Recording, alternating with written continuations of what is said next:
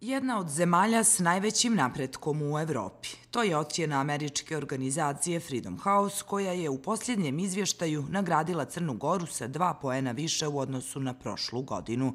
To međutim ne znači da napuštamo kategoriju dijelimično slobodne zemlje. Ohrabro je to što je Crna Gora stvarala napredak na polju demokratije za dva poena, što je prilično veliki skok, ali naravno postoje one stvari na kojima treba kontinuirano raditi. To poručuju iz vlasti. Svjesni kažu činjenice da ih čeka još mnogo posla, da treba zasukati rukave, tvrde i iz opozicije, uprkos tome što u mnogim segmentima izvještaja ima mnogo nelogičnosti. Mi imamo recimo u izvještaju konstataciju da su jedna i druga vlada, Krivokapićeva i Abazovićeva, zbog malog broja poslanika, odnosno zbog male razlike, imale veću odgovornost. To se recimo nije pominjalo sa posljednjom vladom iz prethodne vlasti koja je također imala vrlo malu razliku, manju od Abazovićeve. Jedno je ipak logično i nije, kažu naši sagovornici, za pohvalu.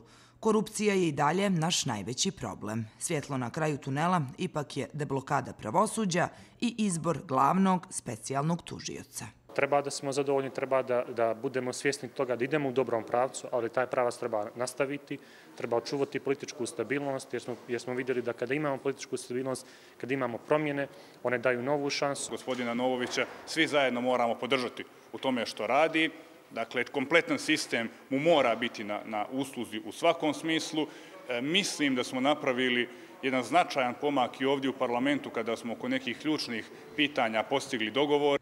Freedom House je uočio i da je državni emiter radio i televizija Crne Gore vodio uravnoteženiju uređivačku politiku i više uključivao različite političke sadržaje, te da nedavna statistika ukazuje i na povećanje povjerenja javnosti i gledanosti.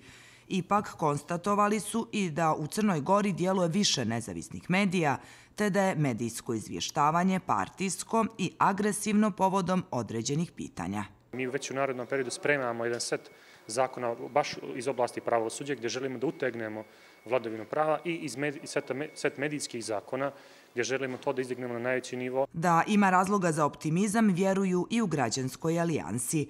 Ipak mnogo je više stvari koje treba da nas zabrinu. Izvještaj, iako vidim da je naišao na neke pozitivne komentare, nije pozitivan i iz razloga što smatram da su i dalje ona ključni problemi koji su stvarali prepreke da se stvore bolji uslovi, pravedniji uslovi za život i dalje ostali vrlo, vrlo popularni za, za rad. I zato naši sagovornici izvještaj vide kao alarm za sve u zavisnosti kako ga ko čita.